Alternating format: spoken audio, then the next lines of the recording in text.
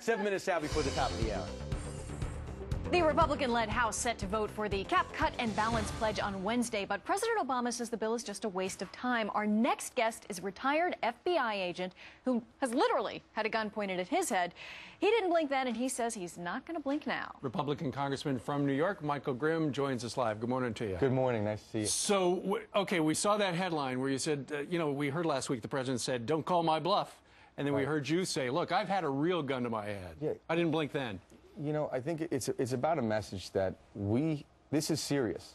This is, in, to some extent, life and death for the United States of America. If we don't get our debt under control, we're not going to be the country we were. We're not going to have the opportunity for our future generations. And we have to stop playing politics. This is not a political football that we can just keep passing back and forth. We have to get serious. We've put two plans out there. The president has yet to put anything on paper. Mm-hmm. He has no plan.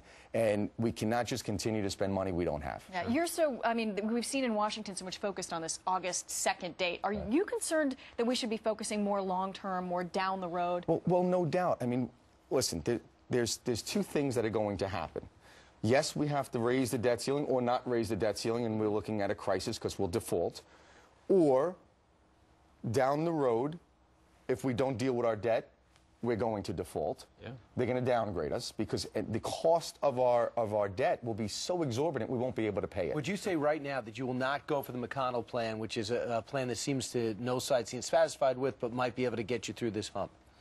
The, my problem with the McConnell plan is that it's abdicating our responsibility. You know, we were elected, the Congress was elected to come in and make the tough decisions. And one of the reasons that I decided to run is that I felt that politicians on both sides have not dealt with our issues and have just pushed Right. things off but you, for further But in this age of, in this current climate of divided government, you're not going to get everything you want.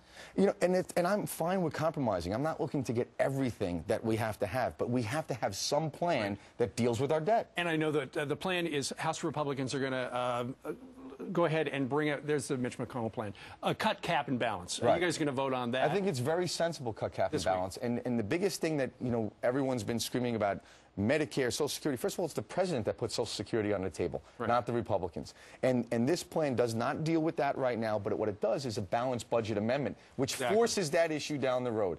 And look, 49 states have a balanced budget amendment. Obviously, the Congress can't live within its Sure. means. So why not? Where's the, I would like the president to explain to me, where's the downside Good to point. a balanced budget amendment? Good point. All right, Congressman, thank you very much for joining us Thank live. you. You got a busy week in Washington. Good luck. It's going to be busy. Yep. Uh, meanwhile, straight ahead. So the president says you can't solve this debt crisis without asking the wealthiest Americans to pay their fair share. We're going to ask one of the wealthy Americans to pay his fair